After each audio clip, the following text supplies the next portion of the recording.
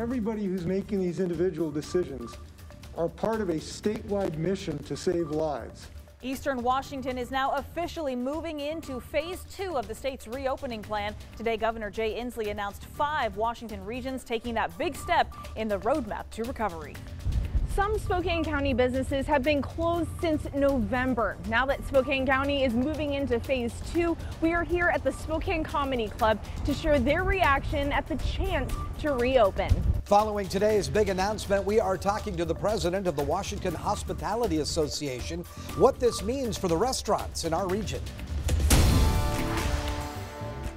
We continue to track bitter cold wind chills. We have that wind chill advisory in effect. We're also tracking lots of snow to the south of us. Your complete forecast is next.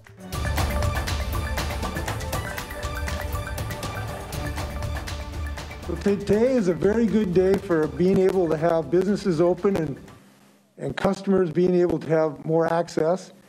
It's a good day to give some financial assistance to these hard hurt businesses that have been so innovative well, you heard it. Huge breaking news tonight as Eastern Washington has just been approved to enter phase two of the reopening. Good afternoon, everyone. Thanks for joining us on KREM 2 News First at 4. I'm Tom Sherry. Welcome, everyone. I'm Whitney Ward. Yeah, today we have got live team coverage with the latest information from Governor Inslee and exactly what this means for our local businesses. So we want to get straight to it. We begin tonight with our political reporter, Casey Decker, and the announcement that we just heard from the governor. Casey? Well, Whitney, it's the announcement our area has been waiting for since November. Some restrictions will now start to be lifted.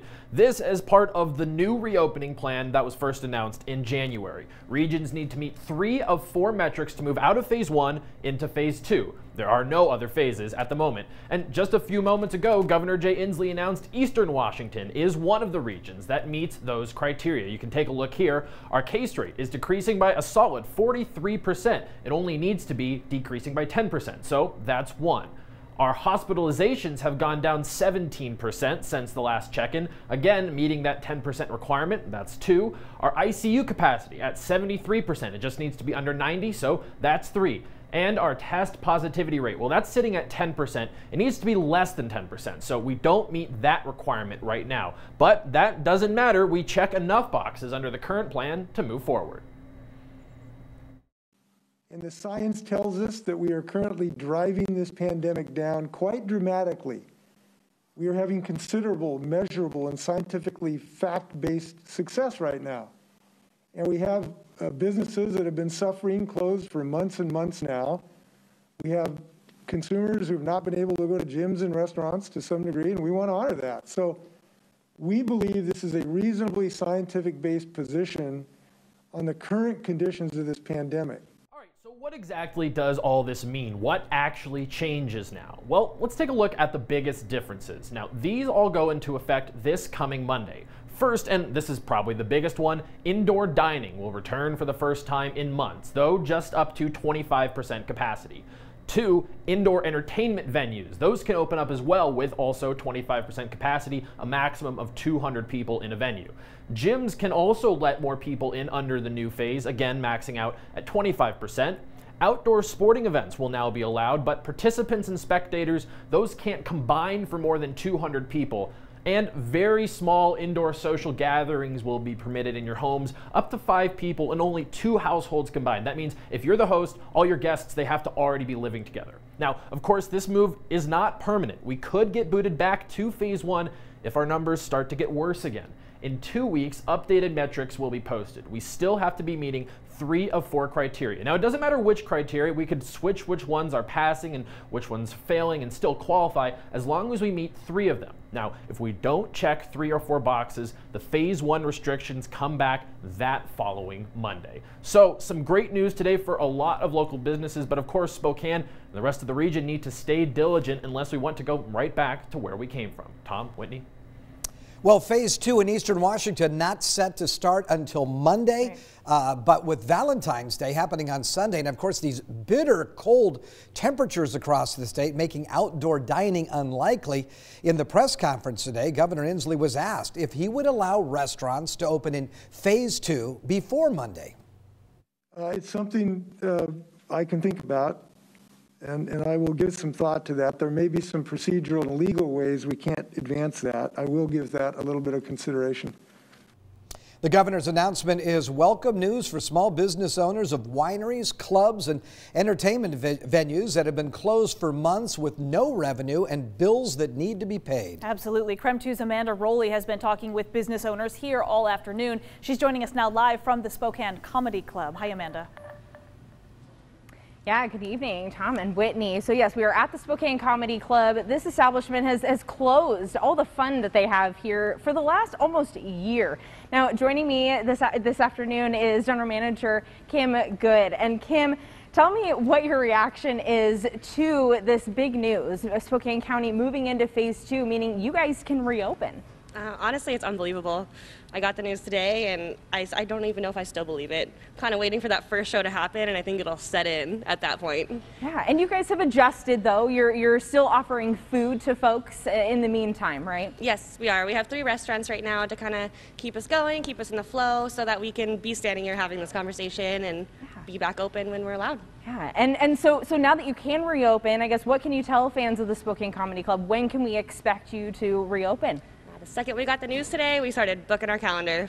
So as quickly as we can get those, these comedy or comedians in, we're opening the doors.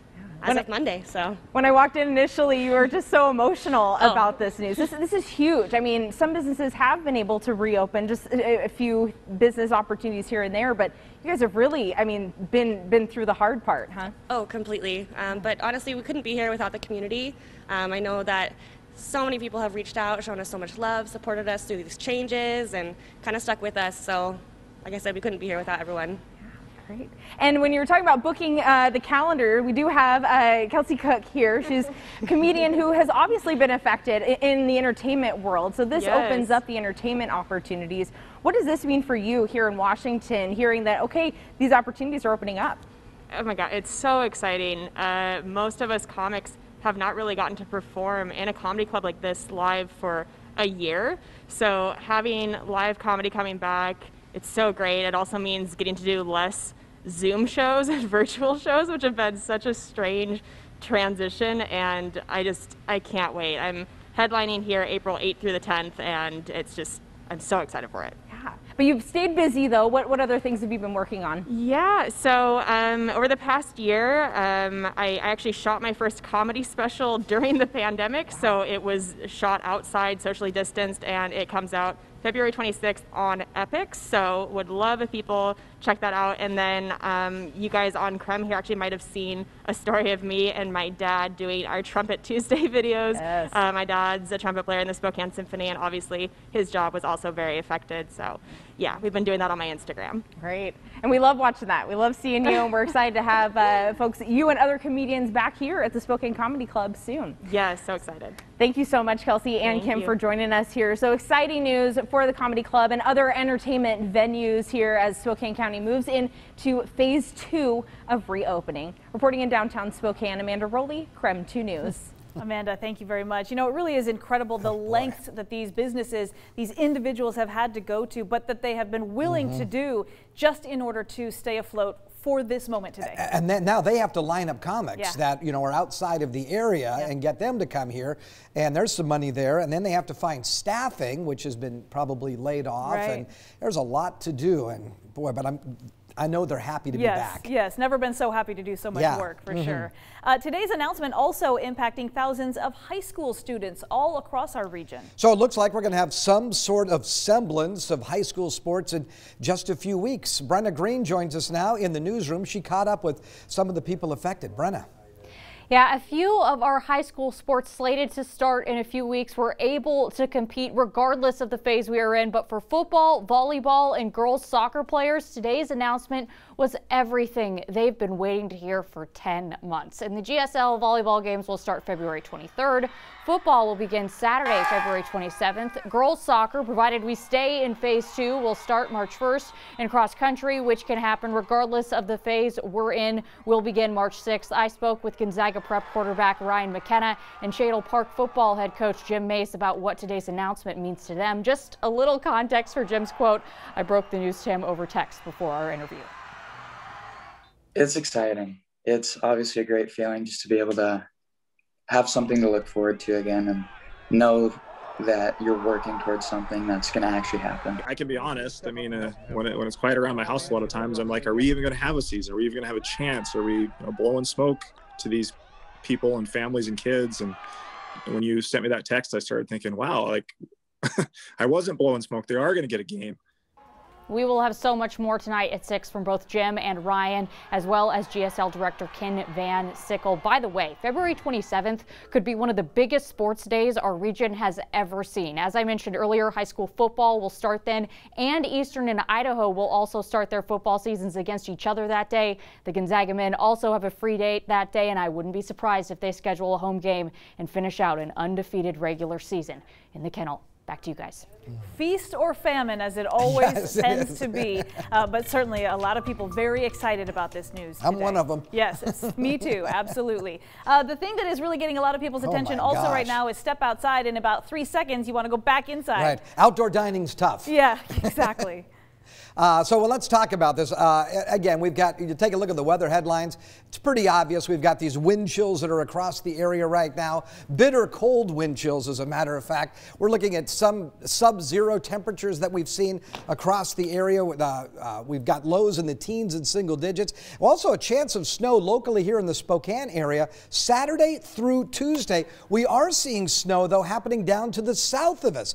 We've got a winter weather advisory in effect, kind of like from Lewiston and Pomeroy to the south, two to four inches there, where you see it shaded in pink. That's a winter storm warning in effect until Saturday afternoon. Could pick up four to eight inches of snow. And of course, our wind chill advisory here locally as we look for winds to drop maybe uh, 10 to 15 degrees below zero. When you take a look at the current temperature, it's 19 degrees, but with that east northeasterly wind at 15, you're right now you've got uh, lower single digits or you're around zero as far as a feels like temperature is concerned. We are tracking snow that is again to the west of us and to the south of us, and it looks like it's going to remain to the south of us until about the weekend. So, dangerously cold wind chills tonight uh, with an air temperature of six degrees. My gosh. And then tomorrow, continued windy. We'll look for a daytime high of about 21. As we look ahead to the weekend, I've got uh, 23 on Saturday with a chance of some snow and also a chance of a few snow showers on Sunday. Continued chilly. 10 the low Saturday morning, 12 the low on Sunday morning. Of course, that's Valentine's Day.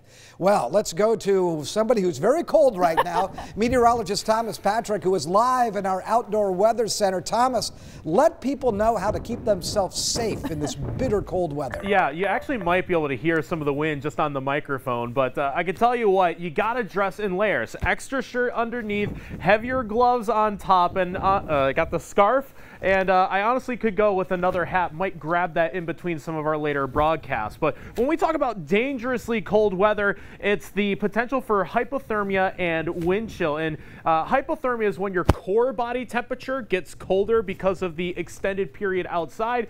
Uh, some symptoms of that include uh, dizziness, confusion, slurring of words, or not knowing where you are. Just general confusion because you're losing some of your brain's mental fortitude. The other issue would be frostbite, and that that is uh, more on your extremities. So if had uh, a hand without a glove for 30 minutes or an hour outside, you might start to see some frost develop on your fingers, general numbness, or even a warm sensation. If that, if either of those uh, occur, you want to make sure that uh, you get yourself to a hospital right away because those are both very dangerous situations, especially when we have not just how cold the temperatures are going to be, but these winds just making things feel and really are that much colder overall. So be careful, especially for the next two days. Thomas, thank you very much. These are really important reminders because it's really easy to go outside and think, oh, I'm fine, I'm fine, I'm just going to be out here. But you kind of don't realize how quickly things can set Yeah. in. And of course, the wind, that compounding factor that it makes it extra, extra cold on your skin. Yeah, this is no joke. This Right. is the real deal. This is dangerously cold weather right now. So, uh, and now really through the weekend. So you just got to take. Uh, uh, can't be the tough guy, tough gal. Get inside. Take the